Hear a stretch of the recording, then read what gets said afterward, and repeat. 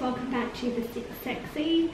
I'm filming in the spare room at the moment, so please excuse that there's absolutely nothing in this room except for this baby. Today I want to talk about positivity and what it means to be positive. So the other day I was um, doing some research for an essay on the well-being of older adults and the elderly and I came across this really interesting study that talked about um, the importance of having a gratitude journal.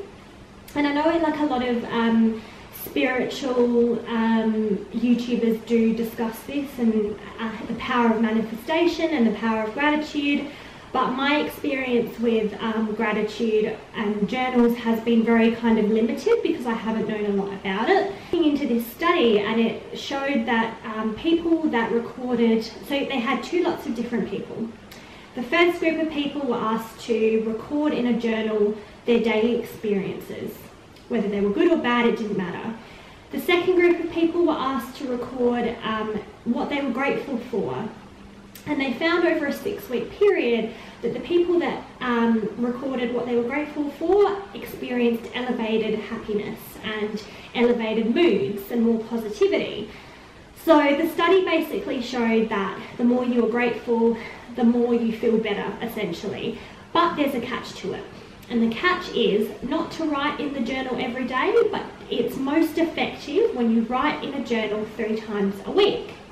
Now, I don't know why this is, the efficacy of it, um, but it, I've come to the conclusion that it might have something to do with, um, you know, your brain is obviously wired to think a specific way, and if you do the same thing repetitively enough, it loses its, I don't know, it loses its efficacy basically.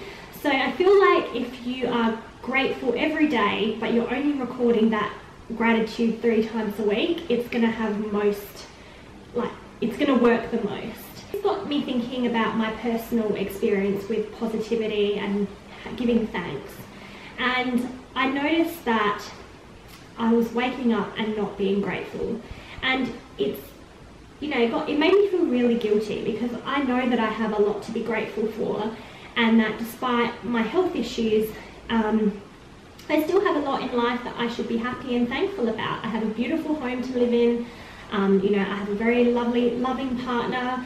I've got a good job and I'm studying and there's all these positive attributes in my life that I kind of sometimes overlook because I'm looking, comparing myself to other people and I know that is a trap that we all kind of fall into at some point in our lives. Um, but it made me think when I was getting ready for hospital yesterday, um, I took a moment and even in hospital, so okay, I'll start with what happened yesterday. So yesterday was hospital day. And once a month when I go into hospital I always feel really kind of cheated because I feel like I only get two days off a week just like everyone else. But most people get to spend their weekends doing something they want to do. And I feel like because of my health concerns I don't get I'm not afforded those same privileges so once a month, whether I want to, I have to go to hospital, otherwise I can't live a normal life. So yesterday, I kind of woke up with a different attitude and I felt really positive about the day. I was like, right, today I'm going to get up, I'm going to get ready for hospital, I'm going to go and have lunch before hospital and just get myself into a really nice, happy, positive mood. When I got to hospital, I was really pleasant. I was talking to the nurses and just being in a nice mood. I had my music playing and I remember thinking and feeling before the needles went in, I remember the nurse sterilised my arm because you have to sterilise it before putting the needle in, obviously.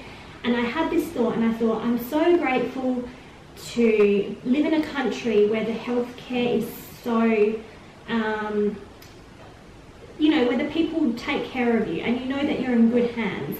And that, you know, I know that the needle that's going into my vein is sterile. I know that I'm not going to have any risk of infection, and I'm just grateful for that process. Now that is really like kind of a weird thing to be grateful about because it's not a nice experience, but you know, I just took a moment to be grateful for the simple things that perhaps other people don't have. Um, and it made, you know, like it didn't make the procedure any easier, it was still painful and it still hurt. But I remember feeling a lot more happy and a lot more grounded in myself rather than being super emotional and super upset about everything, which is kind of my default emotion when I'm in hospital. Um, and I remember thinking it's so important that no matter what we're doing in life, whether we're going to work in the morning or um, you know, whether we're, we're in hospital or we're in pain or we're having a wonderful time with our friends, it's super important to be grateful for the little things. And it could be something so small, like, you know, I woke up yesterday and I was like, I'm so grateful that I was able to wake up today and put my makeup on. Or I'm so grateful that I have money to be able to put petrol in my car to do the things that I need to do in my life. Instead of thinking, oh, well, I don't have the latest Audi and oh, well, like I'm not a CEO of my own business. Like, just be grateful for the small things that come into your life and you'll realize that those small things are actually quite big things and they grow into big things and flourish into big things.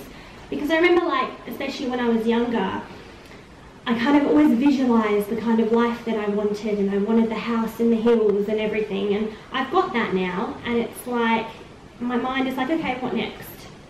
What can I have next? And it's like, no, just stop a minute. Stop, take a breath, be grateful, be positive for this moment, and be present in this moment. So I just wanted to jump on and have a little chat about my experience with positivity. I've also got a gratitude journal, um, which I find really effective at like just at the end of the day or even at the beginning, but I often find at the beginning, at the end of the day is better for me to just sit down and write three things that I'm grateful for that have either happened that day or just I'm grateful for in general. Um, but since reading about that study, I now probably only do that three times a week just to, to make it more effective and not make it too much of a routine. Like, I never want to feel like I sit down and I'm like, oh, what have I got to be grateful for? Better write it down. Like, just, you know, make it a beautiful experience. So, thank you so much for tuning in to another episode of The Sick Sexy. As always, if you have any questions for me, please let me know and I will do a video in response to them. All my love.